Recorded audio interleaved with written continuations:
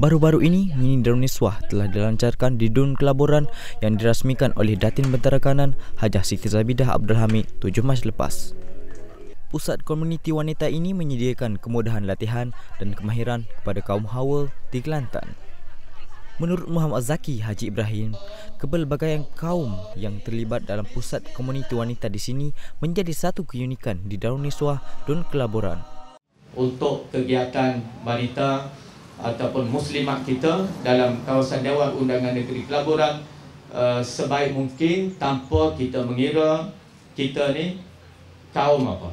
Sebab sekitar ni orang Asia pun ada, pergi sikit lepas daripada tu bandar tupak ada orang Cina dan kita di sini pun dalam sejarah perubahan kita PPWK Dua Kelaburan batch pertama lagi kita telah menerima peserta daripada kaum Sia dan learning pun kita ada pelatih kaunsia hot sesi lepas pun ada Asia yang uh, menjadi pelatih kita.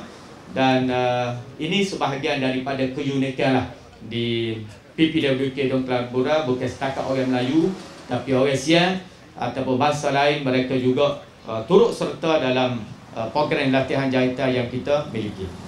Penubuhan pusat komuniti wanita ini juga turut membantu golongan wanita dalam mempelajari kemahiran serta menjana pendapatan. Program ni kita boleh mentahu lagi aktiviti bengkel untuk jahit untuk wanita Kelantan. Aktiviti dia mengajar untuk jahit, lepas tu aktiviti macam masak. Lepas tu ada macam buat kuih untuk aktiviti yang lain-lain lagi lah turut hadir dalam majlis ini adun wakaf baru dan penyelia Dun Pengkala Kubur.